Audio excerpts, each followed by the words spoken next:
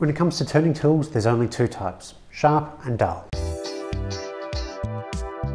The Wood Knight is sponsored by IWoodLike. Okay, so it's a little bit more complicated than that. There are a lot of different types of tools, both in shapes and material composition, but end of the day, the tool has to be sharp, otherwise turning is going to be very slow, going to give you poor result, and it's also going to be pretty dangerous.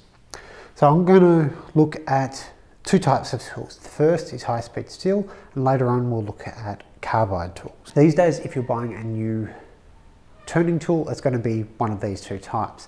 High-speed steel can be sharpened in a number of ways. Beside me, I have a 6-inch 150 or 150 mil dry grinder, uh, but other ways include a wet grinder, uh, such as what's available from Triton or Tormek. You can also get sanding paper driven systems. Robert Sorby has one, sort of like a belt grinder vertically, or there are ways that you can sharpen turning tools on a workshop. One of the things that you'll notice is that you will not sharpen this like your standard bench chisel. Standard bench chisels have a much softer steel which you can sharpen on a stone and that's fine. They will give you a sharper edge than what you can get here but remember that a chisel might get dull after 100 strokes and need a little bit of tune-up, whereas we're spinning the lathe at anywhere up to 3000 RPM, so we need something that can take that sort of abuse, hence high-speed steel. So this is what I use to sharpen. This is a 6-inch grinder, it's high speed with aluminium oxide wheels, they're both 120 grit. Uh, so they're nothing fancy, this is actually quite a cheap setup and it will get your tools sharp. Ideally you'd have either an 8 or a 10 inch wheel because the curvature of the wheel is reflected in the grinding. The larger the wheel, the smaller the curvature at the point of contact with the tool, so you'll get a flatter grind, which is a good thing. Ideally, as I said, you have either 6 or 8 inch uh, and you'd have CBN wheels. Now these are much more expensive wheels, but they've got some real added benefits for sharpening. They run cooler, they run quieter, uh, and they generally will last a lifetime sort of thing, whereas these are consumable items. This is also a high speed or normal speed grinder, which is 2850 RPM, and you can get half speed grinders. Won't generally find them in six inch, but in eight inch. Six inch, uh, the surface speed of the wheel is slower than that of the equivalent RPM 8 inch or 10, 10 inch grinder, just because of how much further the outside diameter has to move. So if you're going to go with 8 inch, go with a half speed one as it is a little bit easier to control. That being said, high speed steel is difficult to burn. Uh, you need to apply a lot of pressure to it if you're trying to burn it, unlike say your bench chisels or planes where you can burn the steel a little bit too easily. Ultimately, it doesn't matter what medium you use to get your tools sharp. Sharp is sharp, it doesn't matter if it's on diamonds, on uh, aluminium oxide wheels or whatever. So don't get too caught up in the having the most expensive or greatest sharpening gear as it won't necessarily get anything sharper than the cheap stuff. It just might be a little bit easier. For straight edge tools, having a tool rest makes it very easy to put an edge on. But for curved tools like this spindle gouge, it is a lot more difficult. It's not a straight curve. You actually have to rock back and forth to get the compound curve into it. So what is typical for turners is to have something that will hold it in a position and let you rotate. In this case, I've got the Woodcut Tru-Grind jig. Put your tool in this part and you can rotate it back and forth like that, which gives you the proper arc that you need to make this cut. There are many different sharpening jigs that all do roughly the same job and you can make your own. The most popular one is probably the Oneway Wolverine jig, which is mostly available in North America and not too far outside of there. Uh, this is the Woodcut Tru-Grind, as I said. Vicmarc have their own, uh, and there are plenty of tutorials online for building your own system, both the arm and the uh, tool holder. You might notice that these wheels are not all that clean. They're clogged up with metal from the last time I turned, uh, last time I sharpened the tools. So we actually need to dress these wheels. For that you'll use a diamond dressing, dressing bar, whatever, uh, and you basically, with the grinder on, run that back and forth across the wheel and it cleans it up. I find it much easier if you hold the dressing tool in the various jigs so that you can get a more consistent grinding or cleaning. On a tool rest like this, it's easy, you can just hold it against there, whereas here it'll bounce up and down a bit if I do that. So wait for it to get up to full speed. Should probably adjust that. So I'm wanting to use the whole face if I can.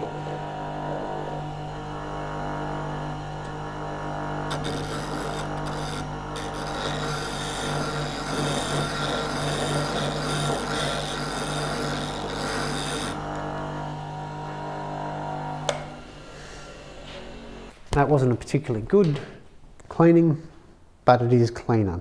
I'm going to continue and make that perfectly clean.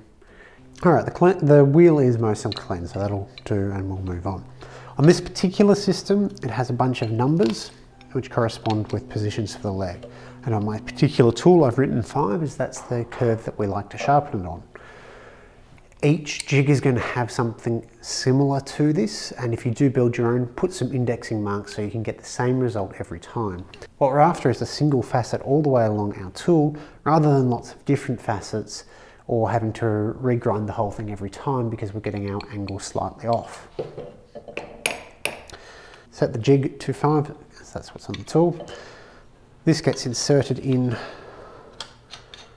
like so. And before we clamp down, most jigs go for two inches or uh, 50 millimeters uh, for the depth of the tool protruding. I've got a block of wood there that gives me that exact point every time so I don't have to measure it. That's tightened down and we can almost get to sharpening. The next step is to loosen up our jig.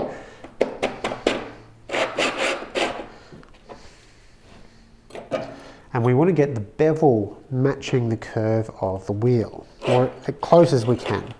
By getting side on, I can adjust until it is equal.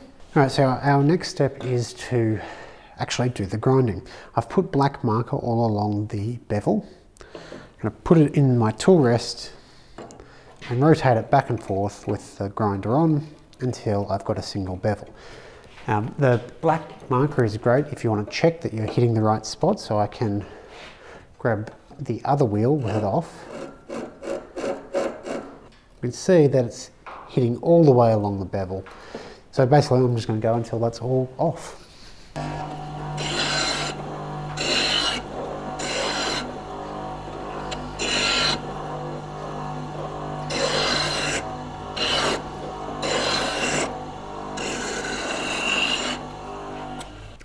And that's all it takes, just about 30 seconds to a minute to sharpen your tool. Now, if you're putting a new bevel on it, so you want to change the angle as you find that's better for your turnings, or some of the other tools can take a little bit longer, but the general process is very quick.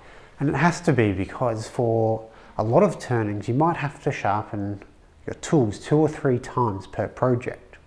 Uh, and that'll depend on the size of the project, the type of project, and the type of wood.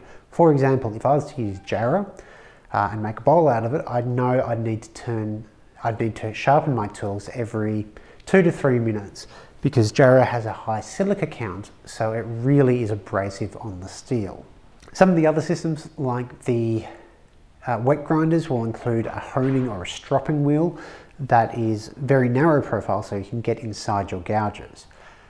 You don't strictly need that. There's nothing wrong with doing that and it can get you, uh, can, can remove the burr so it can get you a little bit of a sharper edge.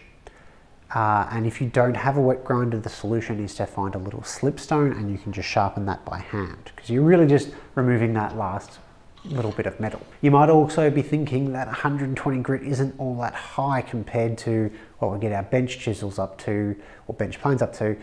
Um, that could be 8000 grit. And again, it comes back to sharp doesn't mean polished. In the flat woodworking world, you need the very sharp blades. Otherwise, you've got to put in a lot more effort to actually make the cut because you're the mechanical force behind it. With the lathe, the lathe is doing the work for us. We're just holding the tool. So I did mention that we'd be sharpening both types of tools, that is high-speed steel and carbide tools. Carbide tool looks like this if you haven't seen it. Um, and it's normal handle, metal bar, usually stainless steel, with a cutter on it. And this is quite similar to the cutters that you'd find on uh, thickness planers or jointers um, for those that have the spiral heads. The advantage of carbide is that you don't have to sharpen it. In this case, this is a square head cutter, so I can just rotate the cutter um, and I'll get four sharpenings out of it. Now, unlike a high-speed steel tool, the carbide lasts for a very long time. However, they eventually wear out and you need to buy a new insert. So carbide tools have a higher cost of entry and higher ongoing costs because you have to keep buying these inserts. Uh, and just like with um, the high-speed steel tools, it, how long a life you'll get out of it depends on the type of projects, the type of wood, so on and so forth. Carbide on the MOH scale, measure of hardness scale, is pretty high. I believe it's 9, diamonds are 10. So these aluminium oxide wheels, while they're hard enough to cut away uh, the high-speed steel, would do nothing with these carbide tools and you'd gouge out your stones. The way that you sharpen is that you rub something harder against the softer surface that you want sharpened and you'll get it sharp. So because the aluminium oxide wheels are too soft, we can't use them. Uh, I don't think CBN wheels are hard enough, though you probably wouldn't want to use them anyway. To sharpen carbide, you're going to need something like this, which is a diamond sharpening stone, which I use typically on my chisels and planes. The diamond stones can also be bought in credit card size format, which is a lot cheaper and for turners is probably all that you need. All right, so to remove the cutter so that we can sharpen it, you'll take the Allen key that would have come with the uh, tool itself. There are different sizes depending on the size of the tool. We'll take the carbide off. Uh, unlike with the high-speed steel tools, we are not sharpening on the bevel, but we're going to be sharpening face down. Because the uh, cutters come in a variety of sizes and shapes, you wouldn't possibly be able to do it on the bevel. The, uh, for example, there is a round cutter and there's no way you could do that. Now you get two or three sharpens out of this. You're not to, it's not going to be a lifelong tool, but two or three sharpens on four edges on something that lasts quite some time isn't too bad. So I've coloured in the carbide insert. Face down on the diamond, this is a 250 grit stone.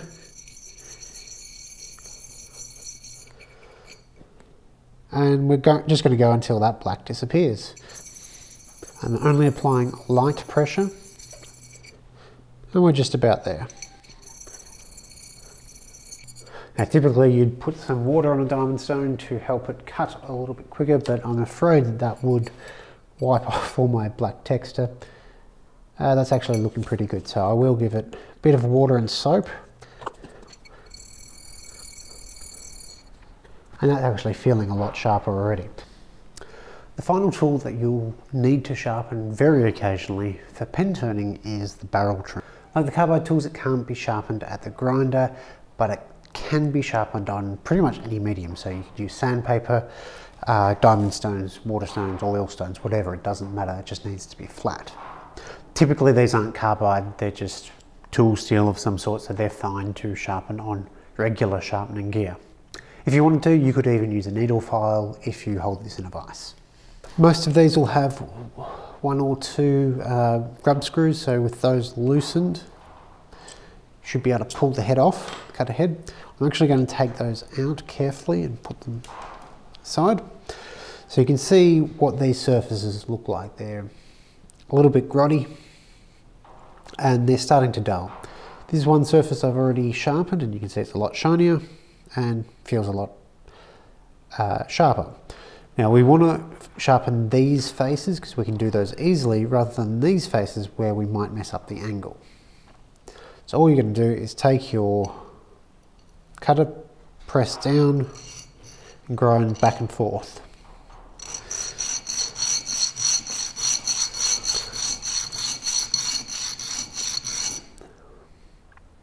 You can see that's sharpening that up very quickly. Now I didn't cover all of the tools available. I didn't cover a skew or a scraper or bowl gouges. Well, all gouges are pretty much sharpen the same way. Uh, look at the manual for whatever jig you end up getting or making or whatever. There will be plenty of ways to sharpen all of those with your jig. In the case of scrapers, you'd use the tool rest, uh, a flat tool rest, sorry. But the principle is pretty much the same on all tools. Um, you want a nice consistent bevel so that you don't have any surprises when you're turning. And 120 grit is fine. If you want to go higher for whatever reason, it's not going hurt it, but when you're spinning at 3000 RPM, that edge is going to wear pretty quickly. So if you've got that really wire 8000 grit edge, it's going to be down to 120 in no time.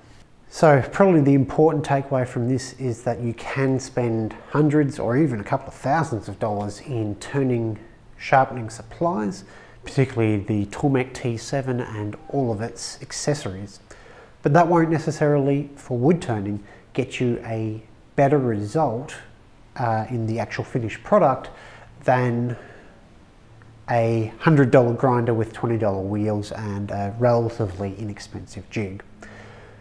So the important thing is that you sharpen frequently and you get something that encourages you to sharpen because it's no good having a sharpening system if you're avoiding sharpening it when you're wood turning because at the start of every project you probably should sharpen your tools.